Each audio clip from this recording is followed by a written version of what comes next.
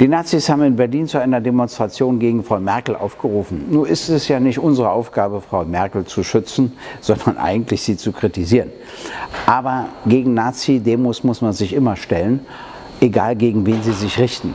Und deshalb rufe ich dazu auf, an der Demonstration so aktiv und so breit wie möglich teilzunehmen. Wir haben eine gefährliche Rechtsentwicklung in ganz Europa und in Deutschland und deshalb müssen wir über unseren Schatten springen und andere müssen auch über ihren Schatten springen und sagen, wir können uns ansonsten streiten wie die Kesselflicker, aber diese rechtsextreme Entwicklung können wir nirgendwo zulassen.